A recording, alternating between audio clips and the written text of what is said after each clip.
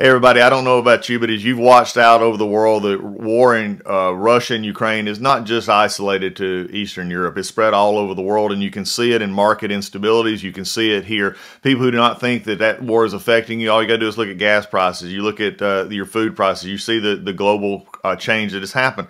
But you know something that's also affected investments as well. And I've said all along, Legacy Precious Metals is your navigator. They're the ones that see you through to get to the next level. The good news about this is even with market uh, volatility, market instability, you've got uh, options. And gold prices are rising as investors turn to gold. And gold presents a hedge against this inflation and that protects you uh, against the weakening dollar, which we are seeing. Legacy Precious Metals is the only company I trust to deal with gold and silver and the other precious metals. You need this investment. You need this as part of your portfolio to keep you buffered from what we're seeing in the world war and, and, and volatility in the market. This is where you need to be. Uh, call Legacy Precious Metals today. Uh, be proactive about this. Get on board with it. Call them at 866 528 19 03 866 528 1903 or you can download their free investors guide at legacypminvestments.com legacypminvestments.com your navigator in a volatile world of investments. You want to listen to a podcast? By who? Georgia gop congressman doug collins. How is it? The greatest thing i have ever heard in my whole life. I could not believe my ears in this house, wherever the rules are disregarded, chaos and mob rule. It has been said today, where is bravery? I'll tell you where bravery is found and courage is found. It's found in this minority who has lived through the last year of nothing but rules being broken, people being put down, questions not being answered. And this majority say, be damned with anything else. We're going to impeach and do whatever we want to do. Why? Because we won an election. I guarantee you, one day you'll be back in the minority and it ain't going to be that fun. Hey, everybody. Glad to have you back today on the Doug Collins podcast. Uh, going to jump back into the series that we've been doing talking about uh, the final addresses of presidents and how they actually interact today. And today's is one that's going to get really in depth, not only for the uh, content that it had then, but how it, what it relates to today.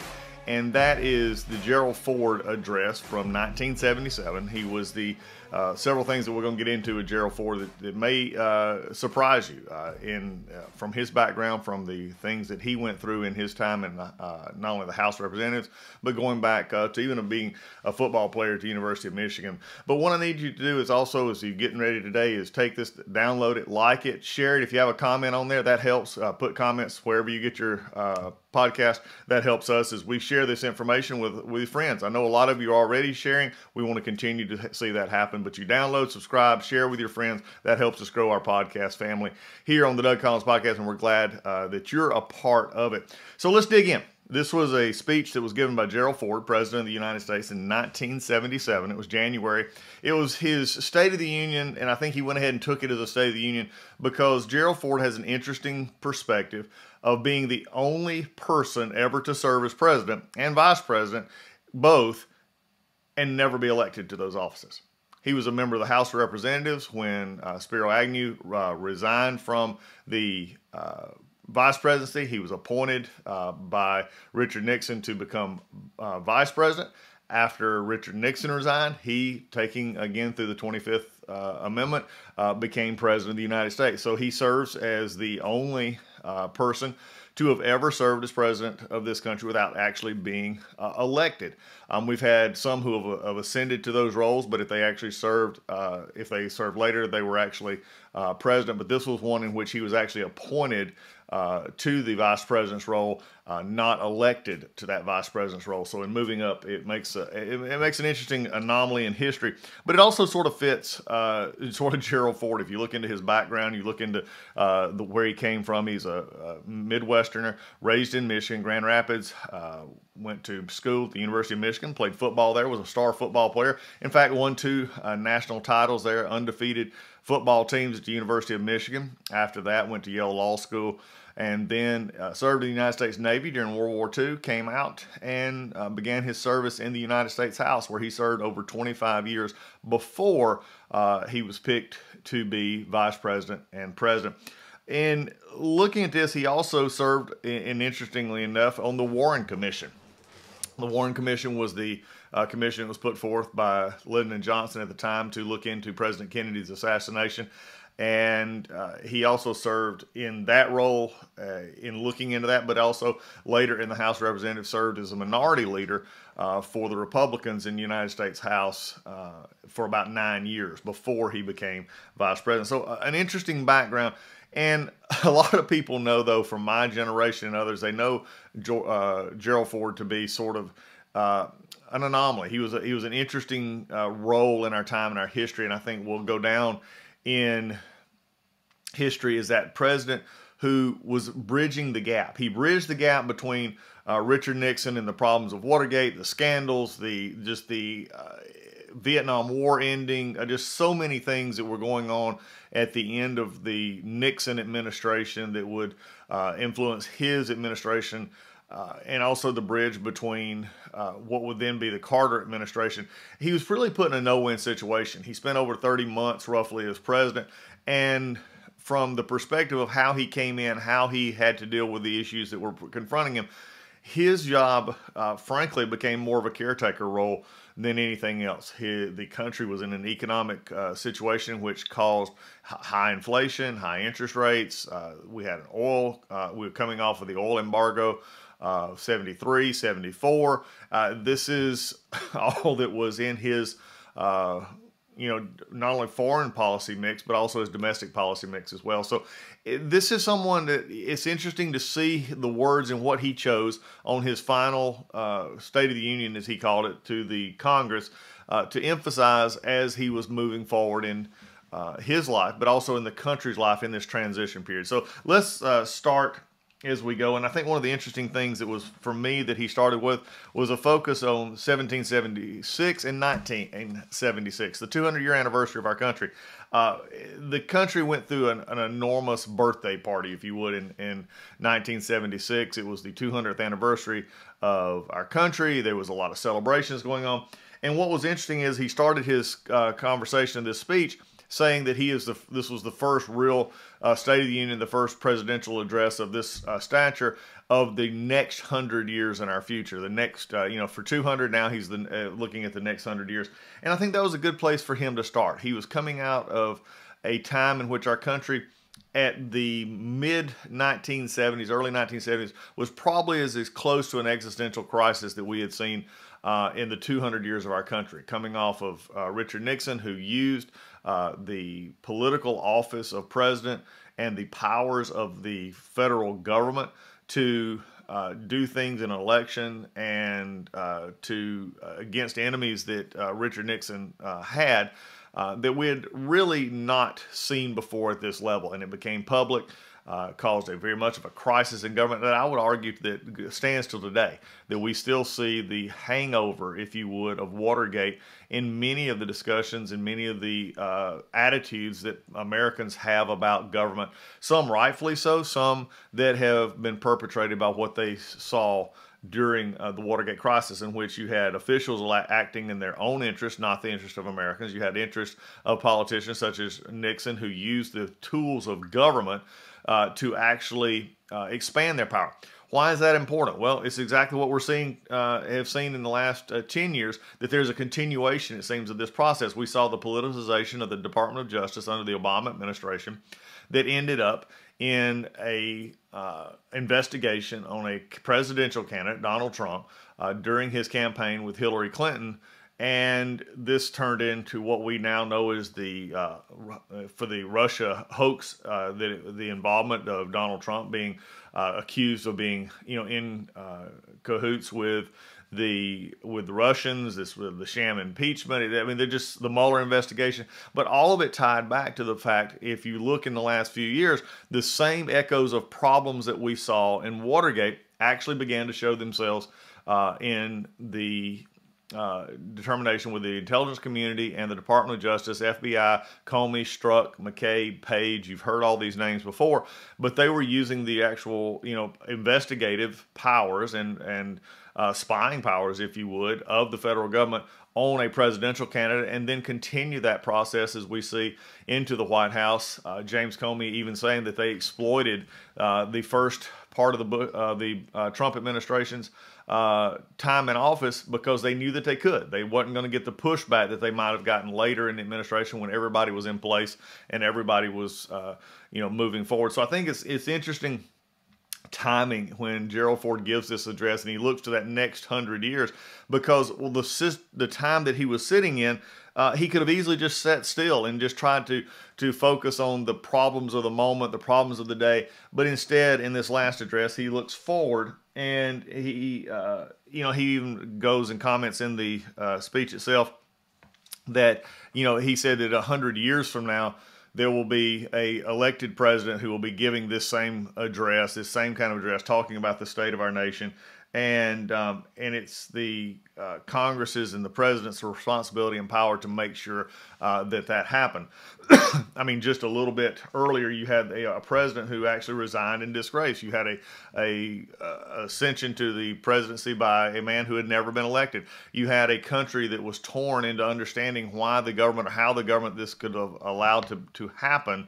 Uh, when you had so much uh, supposed checks and balances, but you saw this with uh, Ford, Ford said, no, we're going to look forward to this, but we've got to keep up our, uh, you know, posture as far as being the, the country that is still the light and the shining freedom of the world. That's why the 1776, uh, 1976 correlation of 200 year anniversary, 200 year birthday was so important. And it gave the American a chance to, to remember why we existed as a country to start with. So it, it was focused forward, but then he starts to delve into the political realities of many ways. And he talks about the Constitution and the reliance on the Constitution. One of the things that worked that he talked about working in the as he looked toward the future was that he said our Constitution works. Our great republic is a government of laws, not men. Here, the people rule. And it's an interesting concept here as we look at this because I hear many people today, again, uh, as we have all throughout history and generations, talking about we the people. And the the correlation that he draws here is, is that our framework is the Constitution, that we're a nation of laws, and that those laws do generate themselves from the ele- from people who elect representatives in a republic to represent their interests but it is very clear that this is a republic uh, form of government. This is not a uh, pure majority rule. This is this is a uh, republic in which we elect people to represent our interests. Uh, not everybody getting everything that they want all the time, and just simply because one group of people thinks that it ought to happen doesn't necessarily mean it should happen, and that everything falls under the Constitution and the rule of law. Ford understood this probably better than most presidents because he had just lived through the, the constitutional crisis of a president resigning, a president who uh, was facing criminal accusations, who was facing ethical uh, problems. He was facing a, a society that had uh, turned on him and what he had done uh, and his involvement in the Watergate scandal, the cover up there was, and the uh, members of administration that were beginning to go to jail because of, of what they did. So he went back to the one basis this country has, and that's the Constitution. He went back to the basis of our country that makes us different uh, in the sense that we're a elected republic who is governed by a nation of laws, not the whims of uh, those who make the laws or serve the people of the laws or the people themselves. Uh, again, a very pragmatist approach that you would have expected uh, from Gerald Ford, one who came from those uh, backgrounds of the House of Representatives, uh, his you know Midwestern roots. He was always one that was grounded in where he came from and, and his purpose in life. He goes on to talk about and, and this is an interesting part because he was in the minority in the House of Representatives uh, basically his entire time in, in, Congress. He understood the role of uh, the opposition, and he talks about this uh, that even though coming up that there were going to be uh, a new, um, you know, that the transition was going to take place, it was going to be a smooth transition. This was not uh, like other parts of the world. He did make this comment in the middle of this that although there is a smooth transition of power, he says the opposition party doesn't go underground, but goes on functioning vigorously in the Congress and in the country. And our vigilant press goes right on probing, publishing our faults and our follies, confirming the wisdom of the framers of the First Amendment. Uh, what he's saying there is, is that there is a place for the opposition party. As a lifelong member of that opposition party, the minority party, uh, in the House of Representatives, he understood that there was a place for this opposition. In fact, that if the opposition simply gave in to the majority, then voices would not be heard, our, our democracy would be in trouble, and that our Constitution would be undermined. And he also, it's interesting enough here, he not only talks about that, and I wanted to, I want to get it, delve into that just a little bit further here uh, in just a minute on the role of the opposition and really uh, the effects of uh, how the opposition acts in in times of their minority with the majority uh, being in control. But he also goes on to discuss and says that the role of the press should be continued. Now, it, it, that may seem like a normal statement. It was just a throw off statement that you get from uh, you know presidents and uh, in speeches, candidates all over the country, and it's a throw off speech. But let's remember here exactly uh, the context in which this was being given. Watergate was still very fresh on the minds of, of almost all Americans. They had lived it through congressional hearings, they had lived it through uh, televised uh, speeches, they had lived it through reading uh, of the reporting uh, out of Washington Post and, and many other uh, organizations over a period of several years. It had become ingrained there were many in that process that wanted to actually, you know, begin uh, again this hostility toward the press, this investigative journalism that was coming out. Uh, later uh, made into a movie, uh, Bob Woodward, Carl Bernstein, All the President's Men, but the, the reporting that was coming out, uh, and not just that, but the Pentagon Papers, there was a lot of things that was going on in the press at that point. It would have been, interestingly enough, easy for Gerald Ford to have dismissed the role of the press or to have called for a controlling or a, a, tampering down of the press's uh, reporting or investigation into the roles of government. But instead, he brought it out as a, as a function of our government that is actually positive. He brought it out that said that the press's proper role is to do good reporting. I think this is where uh, we could take a lesson, the press from today could take a lesson in saying that the press does have a role. And I think coming out of Watergate, uh, coming out of, of dealing with everything that was going on there, there would have been uh, there was a, a way that the press brought that forward so that people could understand what was actually happening in Washington D.C. Now, if you're in power in Washington D.C., this was not something that you would have want to, uh, you know, you contend with, with especially with uh, the environment in the country that was going on. But Ford made a point, Gerald Ford made a point to say, no, the press needs to continue just as the opposition needs to continue as well. The loyal opposition, as he called it, uh, to uh, Congress so that we could actually see uh, not only the different ideas, but also to hold the majority in check. I think if anything, he came through that understanding of what went on with Richard Nixon and seeing the, the scope and expanse of Watergate. He understood that the checks and balances system of our Constitution was vitally important. What is interesting uh, to me out of this as we take lessons for today is number one, the press uh, to maintain that status in our democracy, to maintain that status of holding accountable uh, the government and making sure that good reporting is that reporting should come across and be a unbiased reporting. And, and today, sort of contrary to where we were then, not completely, but I think today, now more than ever, you're having press that feeds to a certain demographic or a certain group. Uh, you have, it's interesting to me, and I think early newspaper people and early uh, reporters, especially from, you know, uh, 50, 60, 70 years ago, when they would hear the fact that you have a conser- you would have this is a conservative network, this is a liberal network, this is, you know, middle of the road, however you want to call it that the news is being given with a with a slant or a bias.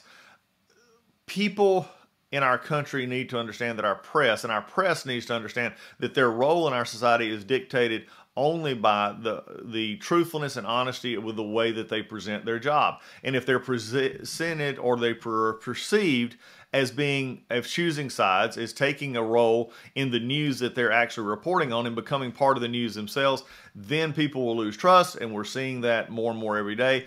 And to where, as I've heard in, in you know just discussions that I have, whether it be on the podcast, people email me, or I have on the radio show, or when I do interviews, they say, "How can you trust?" uh, the press. How can we get out information? A lot of this stems back from the times of, uh, of Watergate and the beginning of this modern investigative press, the gotcha, if you would, press that some would have. But again, if it is reported, Ford talks about this, if the opposition is there to uh, lay out and hold in check the majority, the press is there to uh, lay out objectively and, and truthfully the actions and the uh, events of the day, then you have the checks and balances uh, that are uh, very much needed as we look ahead of this. Remember, uh, the Watergate deeply imprinted the American psyche during this time. And it was one in which the Americans uh, could not believe what went on in their government. They, they were uh, shocked at the uh, that it reached all the way to the president himself and that the president himself actually acted in this cover up. And it was, again, a political ploy at political enemies. And it really brought out the pettiness um, that was going on in politics and can derive itself from politics, especially at the expense of a country in which we had so many uh, things going on at that point. So uh, Ford's looking ahead, looking at the role of the opposition, looking at the role of the press, and talking about the importance of our First Amendment was all rolled into what I believe was his. Uh, you know discussion with the American people that we all have a role to play and that those at the highest level of government those in the press and and even the American people have a role to play in ensuring that America uh, move forward. That's the same way it is today. And my concern uh, to you as we as we gather together and we talk about this on the podcast is that this is a downplaying of, of role in America right now. We see more people who don't trust the press they don't trust politicians they don't trust Washington they don't trust their uh, their state legislature. And, and we've gotten this very unsettling uh, part in our country in which the needs of the whole are are being divided by those uh, who do not see a future, who do not see a hope. They they only uh, see what they are wanting, and I think this is going to become more and more of a problem until we get back to the equilibrium that Ford spoke of here, and that is truly about the, the role of the opposition, the role of, of the checks and balances as we move forward. So. Uh, as we move out of that, he moves into the more practical parts of his speeches. Uh, you know, look, Gerald Ford was very much of a pragmatist.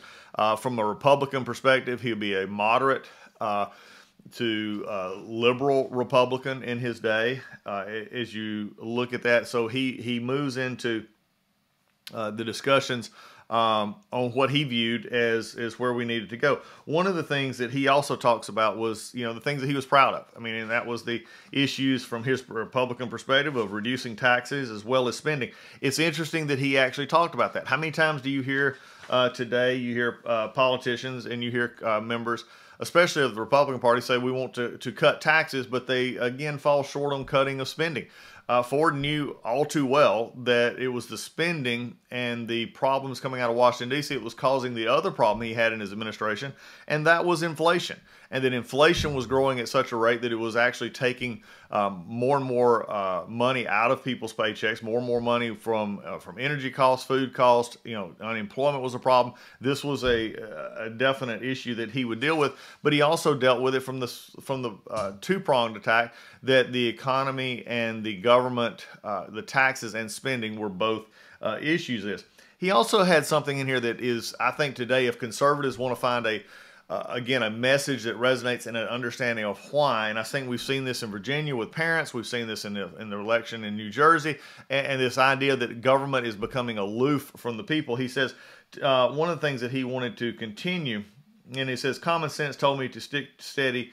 Uh, to a steady course that we were on. And one of the things of that, he said, to return local decisions to local officials. And uh, and provide long-term range sufficiency in energy and national security needs. Now, again, he also says, and this is interesting as we're in the middle of an election year, so be careful of all those uh, who are running for office who are willing to promise you anything, it seems like, to get elected. He said, I resisted the immense pressures of an election year to open the floodgates of federal money and the temptation to promise more than I could deliver.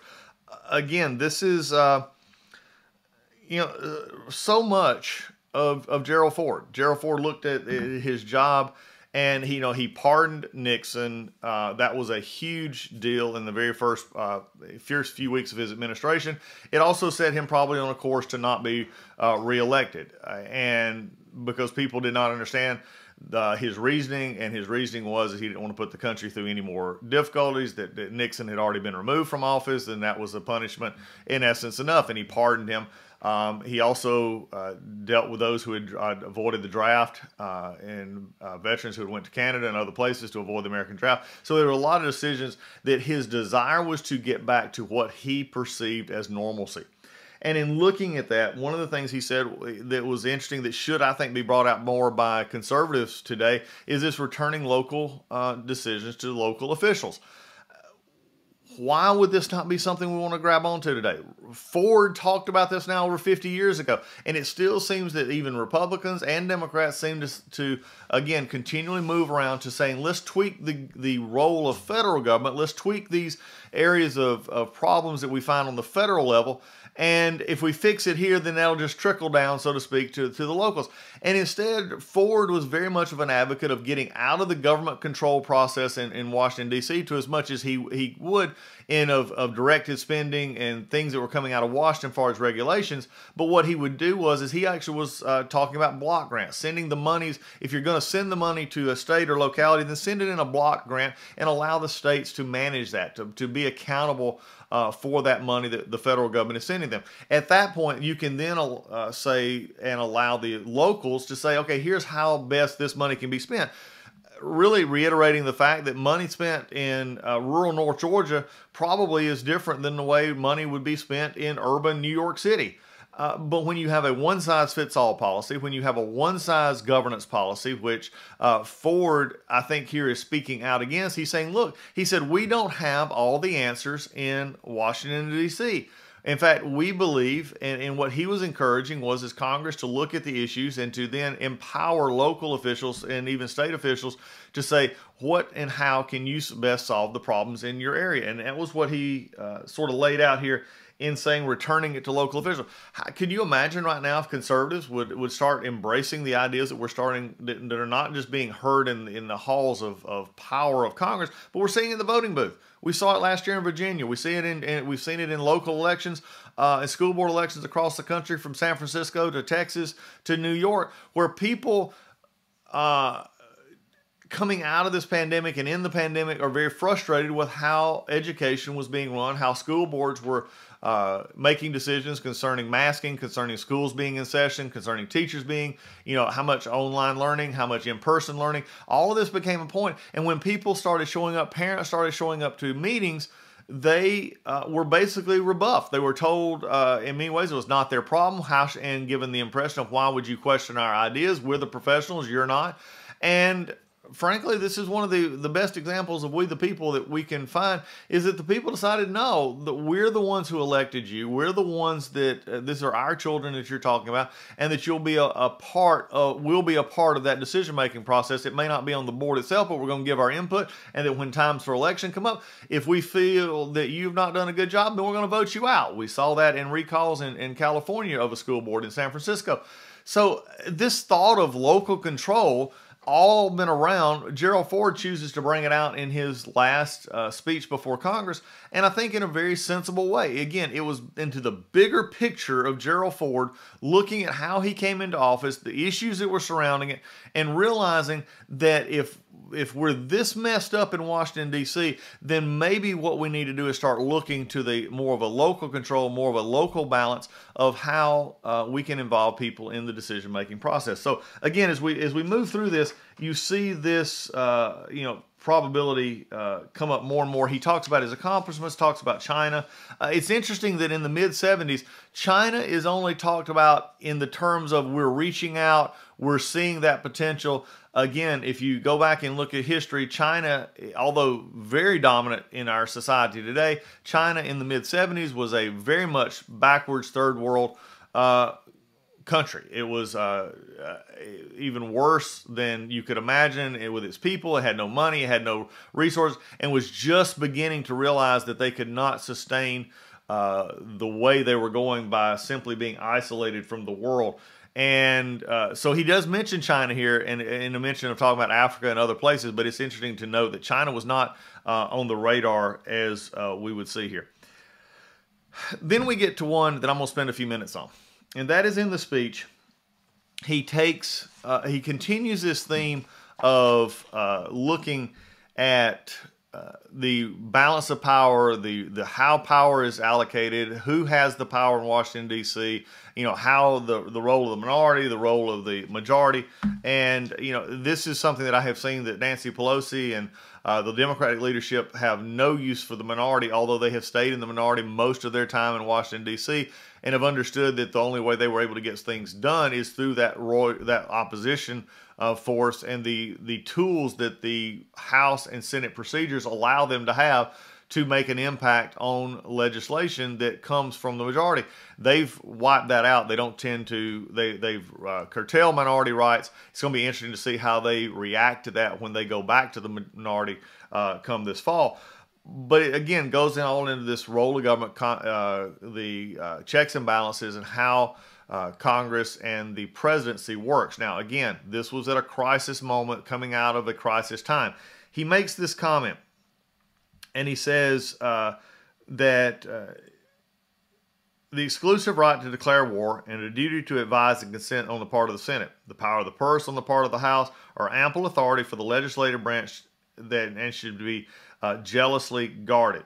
But because we have become too careless in these powers the uh, in the past does not justify congressional intrusion into. Interesting, he should talk about here of obstruction over the proper use of the presidential responsibility now and in the future. Uh, let's unpack what he just said there. There's there's more to this, and he goes on talking about commander in chief. This is the War Powers Act is is in this time frame, um, and again, Congress coming out of the Nixon administration wanting to assert its authority and its power beyond uh, the traditional means of the checks and balances. And I think that most uh, in Congress felt that coming out of Watergate, through the hearings, through what was not provided to Congress, um, the power of the chief executive, the president, had grown to a point uh, to which members of Congress were now saying we need to over uh, we need to get back in we need to step up our authority and pass laws or pass uh, the uh, different things that would actually bring uh, the uh, presidency uh, back under control. I don't think Ford had a problem with true checks and balances. What Ford's talking about here, though, is uh, is that you can't all of a sudden go from giving away this power to then exceeding your power and getting into uh, the the way of the executive. That a a balance of power between the executive, legislative, and judicial has always got to be a balanced power. And when that balanced power is ever thrown off, whether it be the executive, judicial, or the legislative branches, then government doesn't function as it should. Now, I'm going to make the argument uh, here that I believe this is the biggest concern that I see in Washington, D.C. right now. This is the biggest problem we have in the fact that Congress has abdicated much of its responsibility. They don't do so overtly. I've been a member of that body and a proud member of that body. Um, but what I did see was is is that we would come up with ideas and that we would then acknowledge uh, the ex the execution of this policies to the executive branch, in which we gave very wide latitude. Over the years, this has grown more and more, especially in areas of, of environmental protection and uh, spending, in housing, uh, especially social programs. These have all been uh, expanded, not under the not under the authority of Congress passing laws or passing the regulations, but passing the broad, overreaching arch uh, concepts to uh, these bills and then allowing the executive branch to then administer those, expand upon those through regulatory authority. It is interesting that Ford would talk about this in this term, and Ford talking about this in this term that he would believe, and, and stated so, that, that you know the House has the power of the purse. While I was in the United States House of Representatives, it's always amazing to me how so many of my colleagues would want to talk about they didn't like this, they didn't like that, they whether it be you know uh, funding for war or in, in, the Middle East, or whether it was for social programs or for expanding social programs, uh, that uh, members of Congress seem to forget that it was that it was us who actually funded these programs. It actually started in the House. If you want to shut down, and if I'll just use the example here, if you wanted to shut down. Um, the involvement of the United States in a foreign conflict, then you know how you do it? You shut the money off. Now, it, you members of Congress may not want to do that because then the, the, the consequences of that decision fall entirely upon uh, the House and the Senate if they were to pass this. Uh, to go to the president and then the president be forced to sign it or not sign it. This is uh, the the understanding of these roles. Now, again, you may be saying, well, if the president vetoes it, what what's the issue? Well, if you've not watched lately, the House and the Senate, uh, especially if they're together on funding issues, can draw the government basically to a close. I mean, if something is so important that you feel like that it should not be happening as a member of the House of Representatives in particular, where all funding measures start, you start with the power of the purse. I don't care where you are, what if you're in a family, you're in a government, you're in a business, it all comes down to what you can afford, what you can't afford, and who allocates the money. So my my question to us today is just what is these roles and have we gotten uh, out of balance? I would say that Ford, uh, in his time, although protecting executive power, uh, but advocating for the Congress to have its legislative power. I think the role of the executive was was overblown then and is still overblown today. And the problem we have is, is that Congress defers to whoever is in uh, the White House. If it be their own party, then they're more deferential to the executive. They're more deferential to the needs of the executive, the wants, if you would, of the executive, uh, than they are if they're in opposition parties. The problem here is, that overrides the very essence of Congress. Congress is not designed to eh, be the voice of the executive. It is designed to be an independent branch of our government in which the elected officials take the needs of their districts or their states and then craft policies for the entire United States. And that policy crafting, that legislative uh, binding, is then what binds the executive to carry out those orders. And the Constitution, under the, the judicial uh, in our judiciary is bound to abide by the laws that are passed. You hear this all the time coming out of the Supreme Court. You hear it in other courts. Uh, if Congress wanted to change this, Congress could. If they want to leave this the same, then we as the judiciary are not going to change the law for Congress. They have to do that job. Uh, it, it's really, really frustrating today. And as much as we do on this podcast, as many guests as I have on this podcast, and people who come in and talk about uh, the issues. This role of government issue is probably one of the biggest problems uh, that we have, and it's also one of the most uh, obvious. But it is also going to be one of the most difficult because when we look at this problem, it is going to take Republicans and Democrats in Congress realizing that they have to make decisions and cannot simply pass legislation that they think feels good or acts good. They're going to have to spell out what they want and can't use it as political fodder uh, in the next election if it doesn't get carried out the way the intent was. And this is going to come especially in uh, the areas of finances and money in our country. If we do not come together, uh, we're going to talk about this in a minute because he gets into uh, Ford gets into this issue of spending as it seems like all presidents do uh, in their final days uh, in office and, and how those choices made. But but I wanted to foot stomp this. I want to spend some time here because I hear I hear this all the time. Well, if we just win back the House or win back the Senate, then everything will be fine. Will it? Or will you have the uh, with the Congress passing rules, laws that don't address uh, the real problems. And we're going to talk about that in spending, but my question comes back in is in you know in the area of foreign policy. There are things that you can limit and things that you can allow through legislation that bind the administrations. The administrations may not like it, but if it's uh, and so you have to then weigh the cost of do I want to bind a person of my own party in the White House or do I want to punish a, per- a person who's in the opposite party? Uh, in the White House that may then uh, lead to my uh, party being in control of the executive. If we're always fighting about control of the executive in the legislative branch, which it seems like we have had for the last few years, remember Nancy Pelosi, once elected Speaker, spent 2019 uh, and much of 2020 trying to uh, impeach Donald Trump uh, and to go after Donald Trump because of the concern about losing the White House in 2016 when he first went and then wanting to win it back in 2020. She spent most of her political capital in doing just that. If that is the role of Congress, then we've got a warped view of what Congress ought to look like. Congress ought to be about passing laws and, uh, that affect our country, affect our economic well being, our energy well being, our defense, those things like that, that then give clear guidance to the executive on how to carry it out. And if the executive doesn't carry it out, then you have the power of the purse, you've got the courts, and that is the checks and balances that our founding fathers actually wrote into it. So this is not a passing glance, I believe, that Ford wrote into this speech because Ford's coming off again one of the the the as I've said before, one of those existential crises to our government in which foundations of trust in the American people were broken. They were gone, that nobody trusted the federal government. And it was a lot, as Ford says here. He says, if the Congress would do their job, the executive would do their job, then the foundational purposes are back in place. So, uh, again, I, have I've talked about it every once in a while, but I want to bring it back up. If you're out there and you're frustrated with uh, the federal government, if you're frustrated with laws and, and, and things that you see going on, you got to only one place to go back and start, and that is in the uh, legislative process. And if the if the members of Congress, whether they're be on different parties, the same parties, whoever has the majority, whoever has the minority, if they are not working to the betterment of the, the country as a whole and doing their role, then you're going to get a chief executive that's going to move more and more and more into power, consolidation of power. And my concern is over the past you know, 20 years, again, this has been more and more consolidated, in which agencies will actually become the ones who run uh, the federal government and not the balance of power that was laid out in the Constitution. So that's why you're going to see you, you got more issues with the intelligence community. You have more issues with the Department of Justice, specifically the FBI,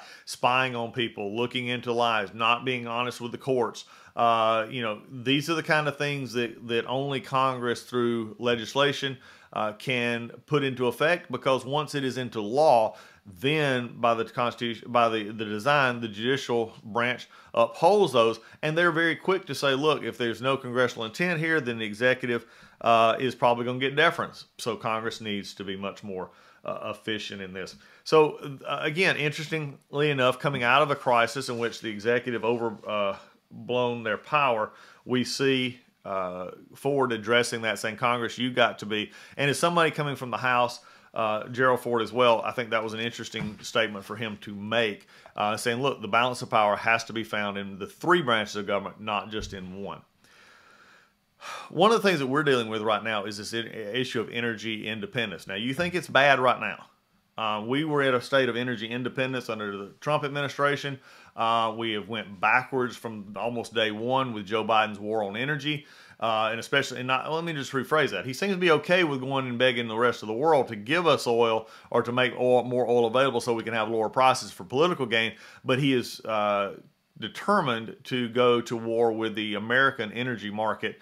And that's caused uh, uh high gas prices. Then you throw on top uh, the Russia-Ukraine war. Yeah, you throw on these, and this inflation process is getting uh, worse. We're starting to see inflation numbers that are going back to just a few years after the Ford administration and the height of the 70s when inflation and, and consumer price index and these numbers were going up uh, exponentially. And a lot of it had to do with energy prices. He goes on in his speech to say that he wanted to tackle uh, and achieve. Uh, he, he said bluntly, I must remind you that we must we have not made satisfactory progress toward achieving energy independence. Energy is absolutely vital to the defense of our country, to the strength of our economy, and to the quality of our lives. Uh, he said that two years ago, I proposed to Congress the first comprehensive national energy program, a specific and coordinated set of measures that would end our vulnerability to embargo, blockade, or arbitrary price increases. Uh, let's stop right here. Remember, one of the things right now, Joe Biden and uh, Jen Psaki from the press table every day is saying this is Putin's uh, gas price increase. This is Putin's inflation. No, it's not. It is exacerbated by the actions of Putin and the Russian invasion of Ukraine. But these numbers were going up beforehand. Why? Because of what we'll talk about in a second is the increased federal spending. And the increasing of government involvement. Now, what Ford was talking about here, which everybody could relate to, was the oil embargo of 73, 74 from uh, the Middle East, in which we had long gas lines here. As someone who is just old enough to remember this, I can remember lines being uh, long lines. I can remember on the, the TV at night, the, the news programs talking about the rationing of gas. If, if you were odd days, even days, when you could actually buy gas. I, remember this all very clearly, and it sense, made a sense of dependency and fear in uh, a lot of people because if we had to depend on foreign sources that much for our oil and gas, then we were going to be uh, in trouble. Now, what was interesting is here, he says uh, he wanted to uh, change this so we would not be dependent and that we could uh, supply a significant amount of, uh, of our free energy supply to the world by 1985. He said, of every major energy proposal I submitted two years ago, only half become law. In 1973, notice this number. He said we were dependent upon foreign oil for 36 percent of our needs. Today, we are 40 percent, and we'll pay out over what seems like a low number now, 34 billion in foreign oil uh, this year. This vulner- such a vulnerability at present or in the future is intolerable and must be ended. If there was never a call from from history to Joe Biden and his administration, this should be it. Right now, we should have an all-in energy approach. Uh, President uh, Ford, at the time, he said expanding nuclear energy, looking for energy independence and alternative energies, uh, providing government uh, incentives to uh, grow our energy supply. It was that's an all-in energy approach he understood it from a significance of national defense and, and, and, national security and economic security that we have to have a broad-based spectrum. Now, we're rich in natural gas. We're rich in coal. We're rich in uh, a lot of other resources that we could be expending upon, such as nuclear. And we do have wind and we do have solar. The question is, why are we picking winners and losers? Why in this idea of you know eh, the climate change ideology that is out there that we must uh, abandon other even cleaner sources of energy because we just don't like where they come from whether they be nuclear or otherwise. This is something that ford you know having real experiences of what would happen if the middle east cut our oil supply uh, now we're experiencing again. We have entered this, you know, where gases went up over a dollar, dollar fifty, almost two dollars a gallon in a short amount of time. It started last year when Joe Biden shut down pipelines, started making harder for uh, exploration here in the United States. We see this happening. We see a war in the middle in uh, Europe right now that had energy implications to it, and the uh, from Russia. So again as you look ahead to it, my question is, is why are we not in on all in? Why can we not look to history? That's one of the reasons I do these speeches is to look back at what history has said to us and what we can do about it today. And as we look at this, these are the, the areas of concern. Uh, he goes on to talk about spending, and he makes an important part in, in this spending as he moves away from energy and says, look, you got to get this under control. Americans can't continue to live with this, this cloud of uh, foreign oil and foreign energy dependence to cloud our economic conditions and to cloud our business environment. He moves into spending, and he says this: it can be only be tough and temporarily. Uh, when he talks about expansion of government intrusion into individuals' lives, but believe me, there is much more to be done, and you and I know it. It can only be done by tough and tempor- temporarily painful surgery by Congress as prepared as the president to face up to this very real political problem. What is that political problem? It's the spending. He understood that the spending uh, from the federal government was causing not only inflation that they were seeing at that time, but it was also causing um, the uh, the budgets and the deficits. Again, something that's brought up in every speech we talk about. But he makes a very important point there. If we're actually going to solve problems, I'm going to guarantee you there are going to be a lot of people who are unhappy about it. We're not in a position now for easy answers. If you want a balanced budget, you're going to have to require the federal government cutting back spending. Let me repeat that. And he understood this here. He said it's going to be a painful and temporary in which both Congress and the president have to take the political risk here. Why is it a political risk? Because people are not going to see services that they've either become accustomed to or like cut out. They're not going to be uh, used to having the federal government not stepping in everywhere, not only domestically, but the world. And the realization that what we take in is what we need to spend, not just simply taxing uh, a certain group of people, whether it be businesses or elites, simply because we want more money and we believe in a more equitable distribution of that wealth. That's not America. America was founded on free market for capitalist principles, and the government is not supposed to be putting its thumb on the scale of winners and losers. And, and if you're going to get into this, if you're going to get into a government that is efficient and lean, then you need to really start making uh, improvements in this area. Ford brought this out. He said it's going to be painful, it's going to be temporary, but you're going to have to go to explain to voters why this is important. Remember, when we have eight to 10 uh, agencies in the federal government spread on three or four departments that deal in low income housing, when you have multiple agencies who deal in different issues, the duplication enough is something to begin to talk about. But unless we actually then talk about the real drivers, which is Social Security, Medicare, and Medicaid, you're never going to get this uh, under control. And unless Congress actually steps up, the president steps up, and there's a real concerted effort to make these changes, this will never happen. And we've got to, to address this. If we don't, then our country, it, we're going down a path, and that is today terms that is not sustainable. That's the hardest thing for people to remember because, again, I, have been to very conservative rallies where I actually saw somebody with a sign that says, Keep your hands off my Social Security. Keep your hands off my Medicare. Don't change my Medicare, my Medicaid. folks, we cannot sustain the growth in those programs in the way they are. There are going to have to be ways to keep and make sure that those who are currently dependent upon it, those who are getting ready to be dependent on, are taken care of while we then retool how we deal with younger generations who are not having uh, the benefit, will not have the benefit of these uh, programs without massive uh, federal debt, without massive economic considerations. These things have to be considered. But I'm going to tell you, it takes a president and a Congress to do this. A Congress will never step out if the president can play it politically, and the president will never step out and try to help this if Congress plays it off politically. Both parties, both sides have to come together to see how this goes uh, and actually take the political risk and the political fallout uh, to make our country stronger and better.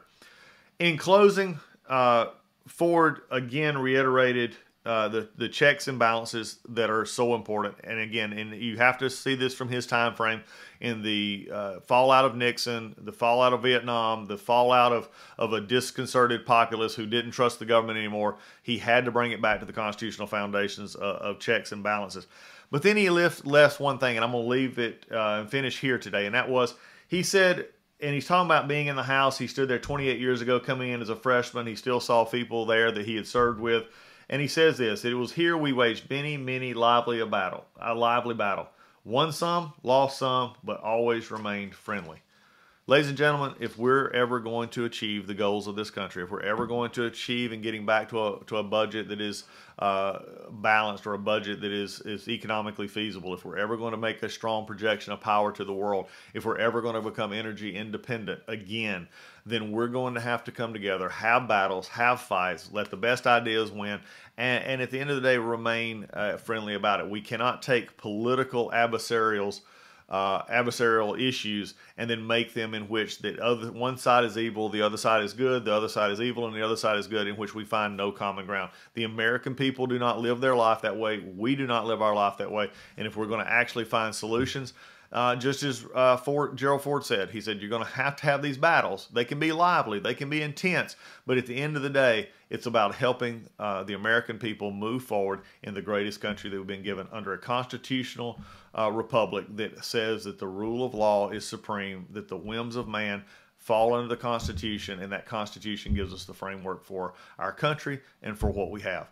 Folks, there's a lot of lessons here, and the lessons have to start not only in the voter, but also has to permeate through Congress, through the Senate, uh, through the House, through the Senate, and into the presidency to realize that if we, the people, actually uh, want our power uh, heard and our interest taken up for, then we have to understand that these in Washington understand that we expect them to get things done, not just simply run for election every two years, but actually uh, find a way to get things done, to move the ball down the court. Because as Ford started this speech off saying it was the first speech of the next 100 years, the, fir- the next uh, for the first 300 years of our country. We're getting into that middle of it now. We're about halfway through. Are we listening to the echoes and the warnings from Gerald Ford in this message? I think we've actually went backwards. I think you actually uh, are concerned. I see an, an, executive that is growing more. I see a, a, a, Congress that is becoming more paralyzed in its own uh, weight of indecision, and the American people are just beginning to get frustrated. When that happens, it's a very disturbing pattern um, in which people don't believe in the system in which we've been given.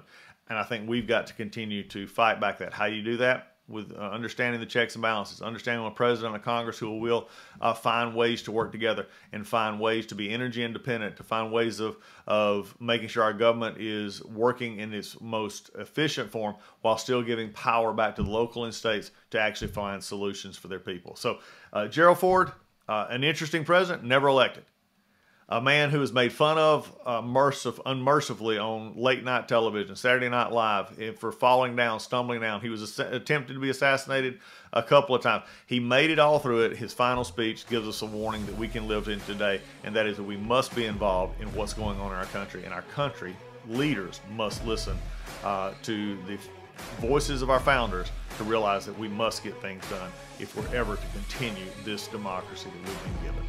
So we've got a lot to, uh, to do. Thanks for being a part of it today. We'll catch you on the next Doug Collins podcast.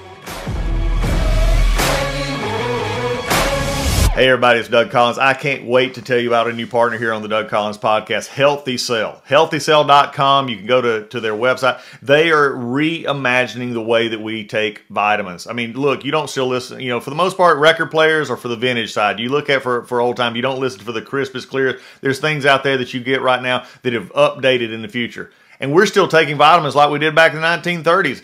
This new technology, this new product from Healthy Cell is a micro gel that takes your vitamins, puts them in a gel form. You can take it straight out of the pack. You can mix it in water or, or your favorite food, but it gets into your system so much quicker. 165% better absorption through this micro gel technology. And believe me, the more you get in the nutrients into your body, the better you're going to be. They have a full product line. I take these medicine, these this uh, pack, these Metagel packets. They are amazing.